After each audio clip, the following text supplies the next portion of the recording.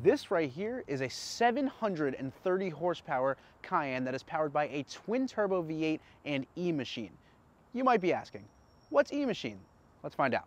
This is E-Machine, meaning that you can plug this Cayenne in just like any other electric car to get full e-hybrid power. That e-hybrid system is mated to our twin turbo 4 liter V8, which sounds like this. So right now, we're on e-power mode.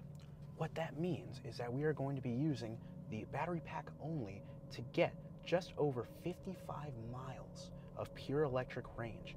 However, when you're ready, you can flip this thing over to Sport Plus mode, and then you can have all 730 horsepower.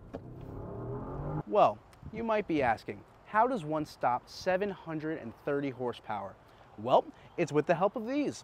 These right here are 10 piston calipers surrounding 16 and a half inch rotors. These will give you all the stopping power you could ever need.